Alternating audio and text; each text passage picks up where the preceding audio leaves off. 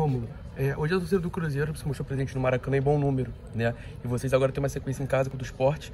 Como é que tá essa sinergia, né? Torcida, time, você também citou o seu companheiro, esse é, bom momento do clube. Como é que é essa sinergia, principalmente com a torcida do Cruzeiro?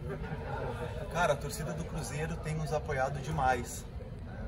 Na final já do Mineiro, a gente escutava só eles cantar no Mineirão para entender o peso da nossa torcida. Tem lotado os estádios, tem lotado o Mineirão em praticamente todos os jogos, quase 160 mil pessoas.